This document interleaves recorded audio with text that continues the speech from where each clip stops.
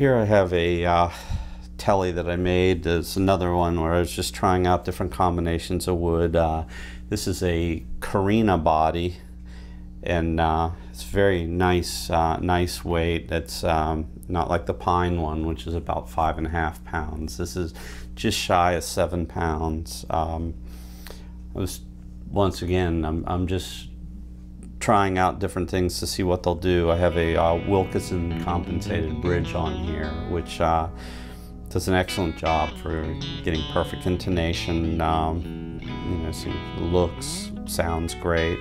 Um, the pickups, again, are uh, Lindy's hybrid blues specials, which have the flush pole pieces except for the D. Uh, he feels that the the D usually is a, the weakest string on the guitar, so he makes the magnet a little bit longer. He splits the difference, uh, protruding a little out of the front and a little, you know, on the inside of the guitar. And, um, you know, it makes for beautiful balanced sound.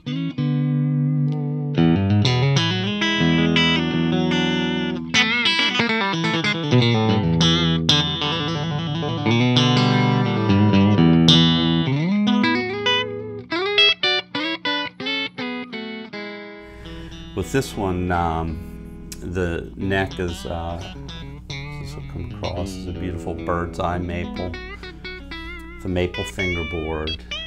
Once again, I'm building these things um, to, you know, for what I think is the best way uh, to build them. So it, it is a uh, maple with a maple cap. It's just the way I prefer to build them. Uh, so there's no skunk stripe on the back of the neck.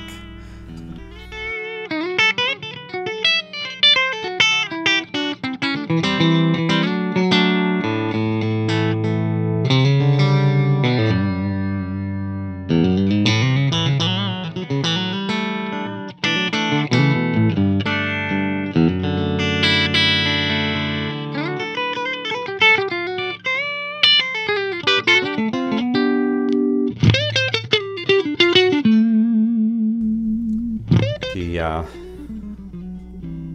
wiring is uh, traditional um, tele wiring, just three-way switch, volume and tone.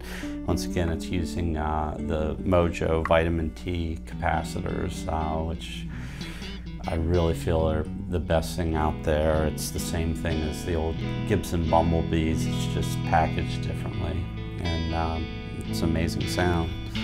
Uh, the pickguard is Bakelite, but um, I, it has a nice enough finish on it that I didn't feel the need to uh, to go ahead and paint it. And some people like the relic uh, look of you know when the paint starts to scratch off, but uh, there's plenty of other parts of the guitar that can chip up, and I just assume go with a uh, the, just the natural Bakelite. The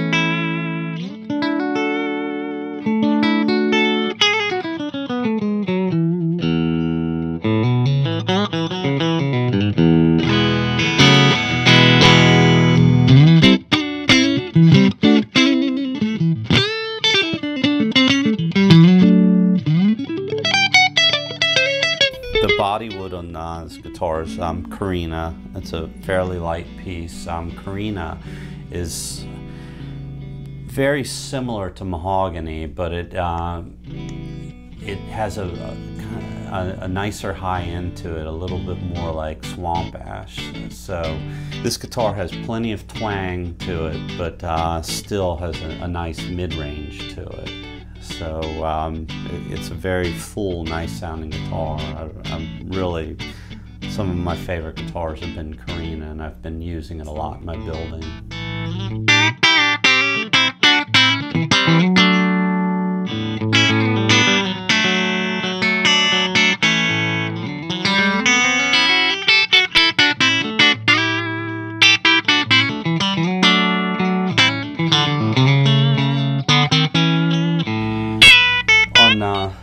The majority of my guitars, um, the radius of the fingerboard is going to be uh, 10 inches uh, and sometimes 12. I really feel that that's the best combination uh, for comfort and not fretting out when you bend the strings. Uh, I really don't see uh, see any point in you know trying to be uh, accurate. Just to use a seven and a quarter radius, it's just not much use for it. Um, the frets on uh, this particular guitar, I've been playing around with different uh, fret wire, and obviously it can be the customer's preference to what they get. But um, this one has uh, the low wide uh, Gibson wire and um, made by Dunlop, and uh, um, it has a real nice feel. It bends nicely, but it's a low enough profile that you don't feel like your fingers are, you know, going over railroad tracks, and you're not bending strings um, sharp, pushing down too hard on them.